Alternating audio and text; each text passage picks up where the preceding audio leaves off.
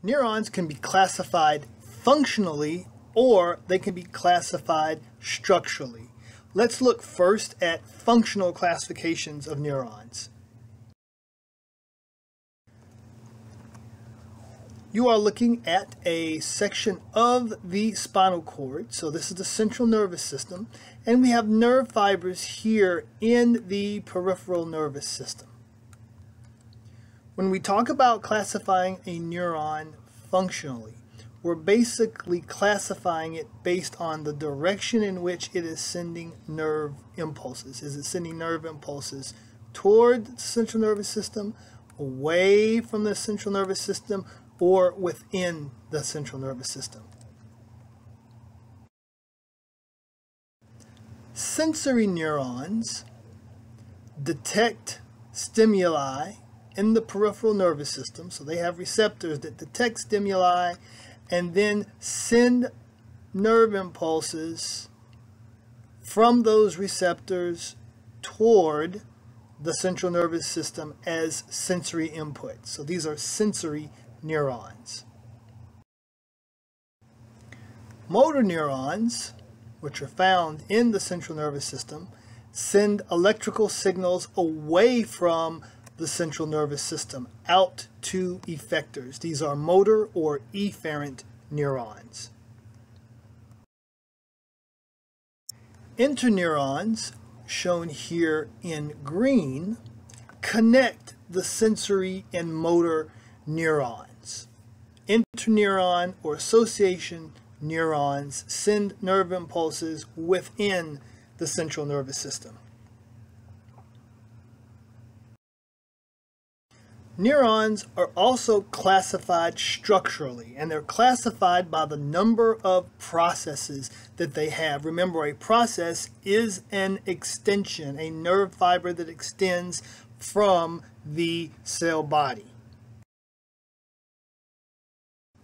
A neuron that has multiple processes, such as this one, one, two, three, four, five, etc., if it has more than two, we'll say multiple, more than two, it is a multipolar neuron, as shown here. Where have we seen multipolar neurons? Well, our motor neuron and our interneurons are multipolar neurons. Notice the multiple processes that they have.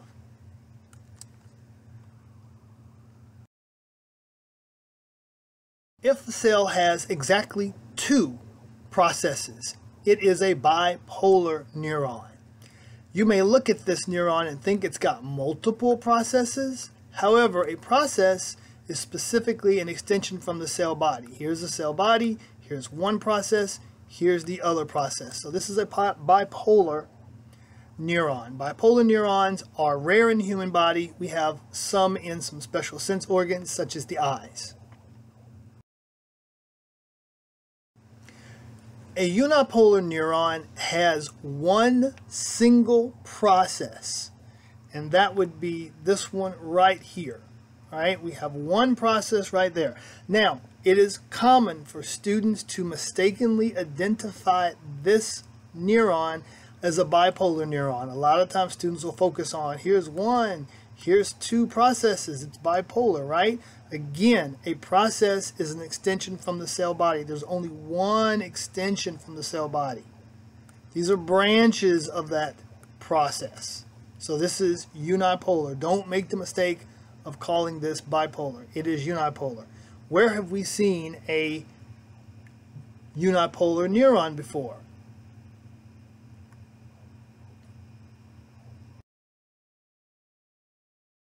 Going back to this figure, we can quickly answer that question. This is where we saw a unipolar neuron. Remember those sensory neurons? They're also unipolar neurons. Here is the single process, and here are the two branches off of that process.